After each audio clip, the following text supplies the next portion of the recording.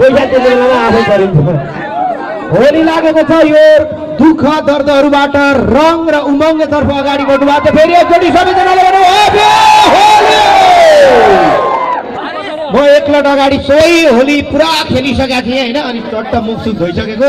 उदय आइपुगेको हाम्रो पर्सु बस्ने दाई जापानबाट आइपुगेको भाइ यति चल्नुपर्छ भने यहाँ चलेर क्या राम्रो गर्नु त्यसको लागि हो। पनि रमाइलो हुन्छ आफ्नो आफ्नो है यो बेलामा यस्तो बेलामा सुन्दाखेरि गाउँदा केटाहरूले होइन खाए हे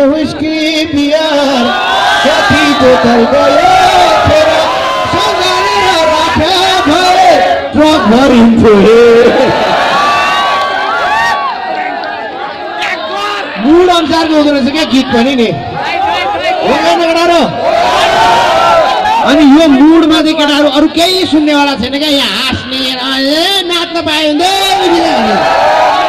फिल यो छ होइन अब यो अलिकति म सुरुमा थोरै क्यारिकेचर गर्छु। हाँस्य व्यङ्ग्य गर्ने मान्छेको धर्म